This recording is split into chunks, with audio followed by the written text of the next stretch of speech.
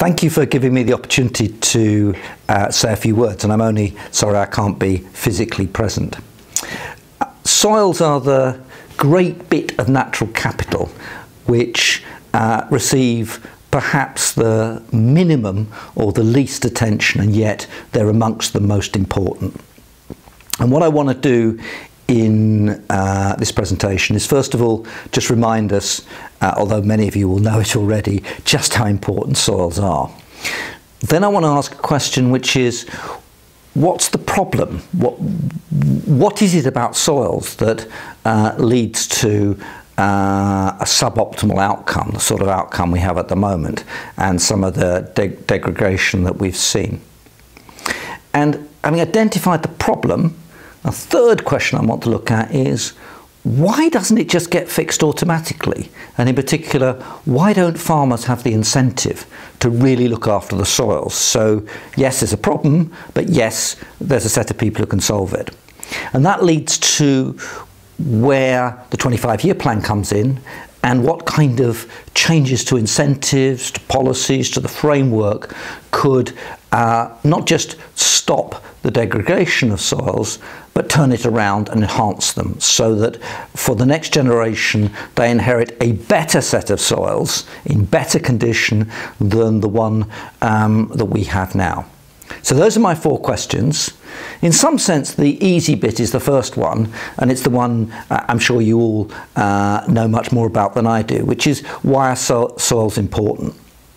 I mean, the obvious point to make is that soils are, are, the foundation, the bedrock of biodiversity, and what happens below your feet in the soils is uh, arguably much more important than what happens above.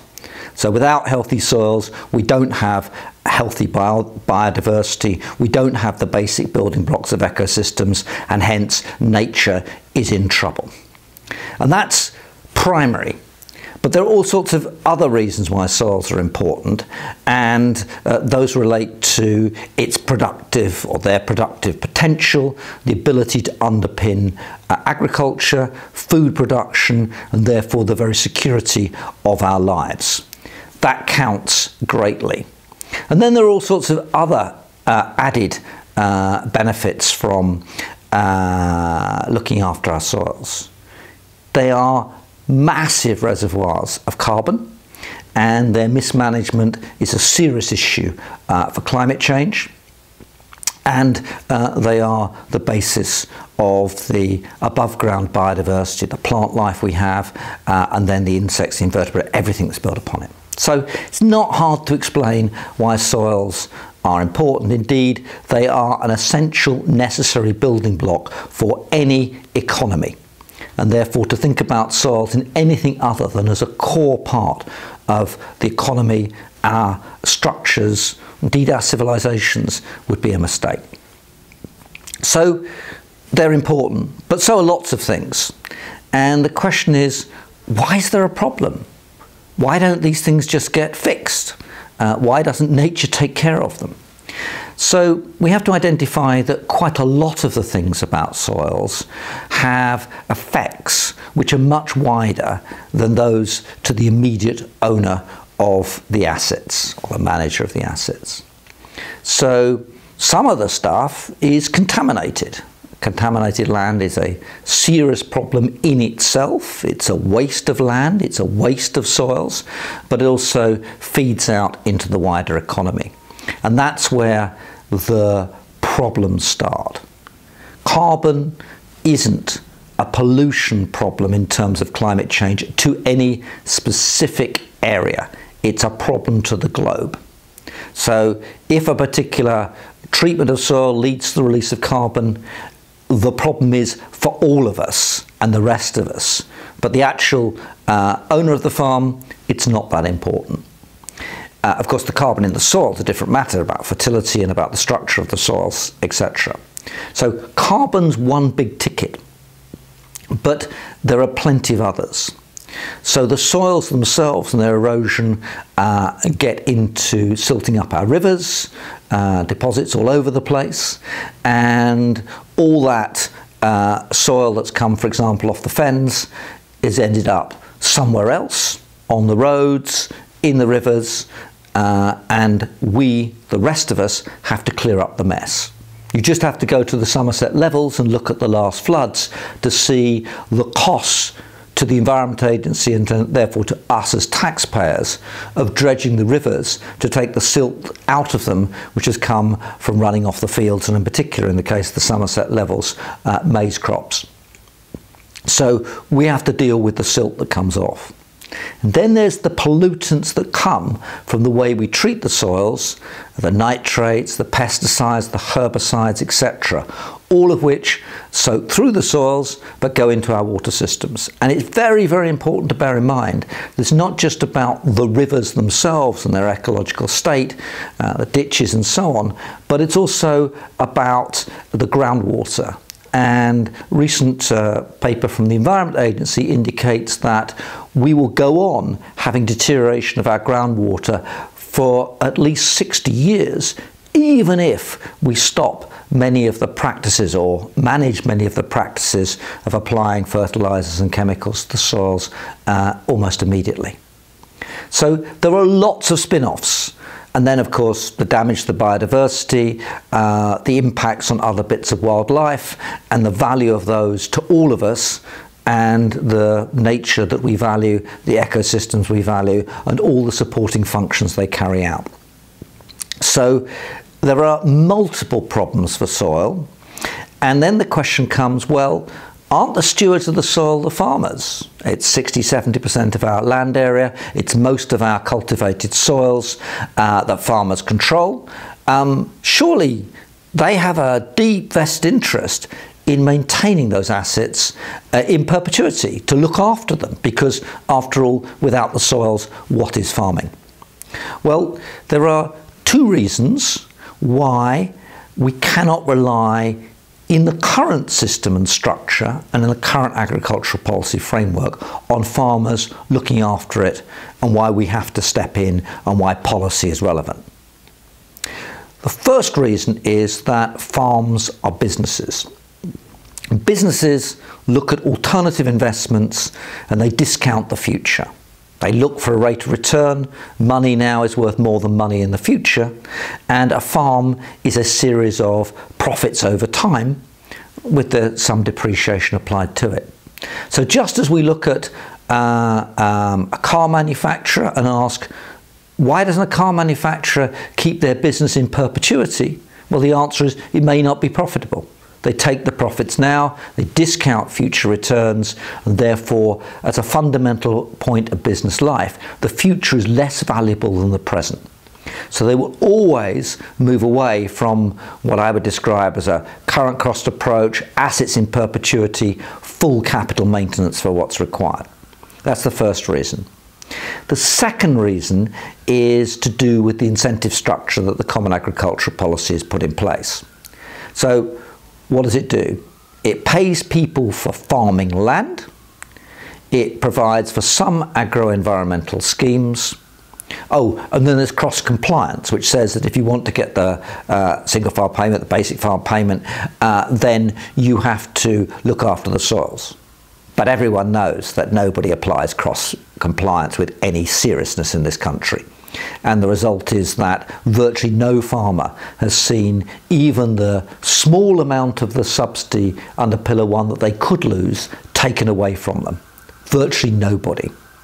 And so it's a good idea to have that in place. We could get on and do something about it, but we don't. And the farmer is not paid for the benefits that looking after soil brings and they, as the polluter in many cases, do not face the polluter pays principle. And those two things together, polluter pays uh, uh, and um, the incentive structure around carbon, to which needs to be added a further principle, which is there should be a net environmental gain, because that, after all, is the objective around the 25 year plan. So, farmers left to their own devices within the structure of a common agricultural policy and in the absence of an incorporation of farming and farmland into the climate change framework will not adequately look after our soils. And that's a fundamental, and you can say, well, it's obvious they're not. That's why we've got the state of soils that we've got today. So then we have to think, okay, what should we do about this? We can't go on like this. It's in the end actually going to destroy farming too. Uh, we've lost a huge amount of the topsoil from the fens, but all over the country we have quite a lot of damage to the substance of our soils, and we need the next generation to inherit them and the natural environment that depends upon them. Now, a 25 year plan has a section on soils. It recognises the importance of soils and it has a number of proposals, all of which are helpful, but in total, I don't think anyone would think they add up to a sufficient framework to ensure we really do uh, uh, bequeath better soils to the next generation. So, what would we really need to do if we wanted to uh, make more progress? The first thing we'd have to do is protect peat. And if you think about the problems with peat, they are multiple. We have a lot of overgrazing, and the incentive structure in the Common Agricultural Policy in the past has encouraged that on our uplands, and that damage will take a long time to reverse. We have the extraction of peat. I mean, it's still, to me, absurd that we don't, we allow gardeners to use peat in their, their, their, their many, many gardens across the country. And we use peat a lot in horticulture. This has to gradually, uh, over time, come to a halt. And then we have to restore the peatlands to better shape.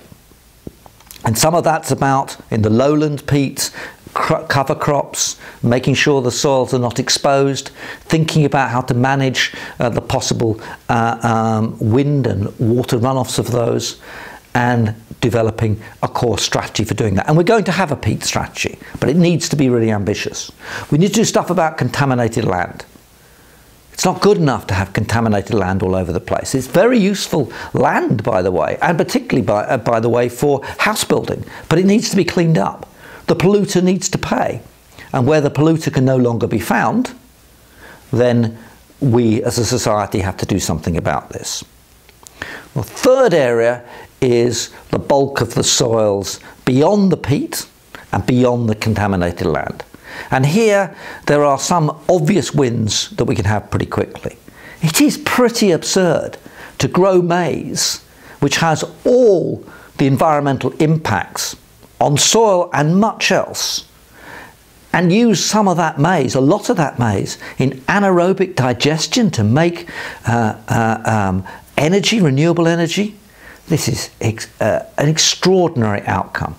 And the sooner these kinds of incentive double payment structures, the CAP plus the renewable subsidies, come to an end for this kind of activity, sticking food and using food in process to generate electricity, we'll have a benefit to the soils. But then, much more generally, we have to make it a requirement, thinking about public goods for public money, that soil is properly looked after. It is a really big public good. Indeed, you might argue it's the core public good upon which our agriculture and our environments depend. And so we need to get serious in the reform of the Common Agricultural Policy to make sure soils have a core priority. And that hopefully is what's going to gradually happen as we evolve from the Common Agricultural Policy to a British agricultural policy based on the principle of public money for public goods. The proof, however, will be in the pudding, as they say, and uh, we have a long way to go. There's a long transitionary period to 222, and of course, uh, it's always possible that a temporary transition could become permanent. So that's why for example, the Natural Capital Committee has argued very strongly that there needs to be legislation to entrench the 25 year plan, to really entrench public goods for public money, and therefore, in the context of the soils, make sure that we don't just have a, a series of important initiatives for soil, but we have a comprehensive strategy which delivers better soils for the next generation it doesn't bear thinking about what happens if we carry on as at present and bequeath worse soils for the next generation. Let's make sure that doesn't happen. Thank you very much.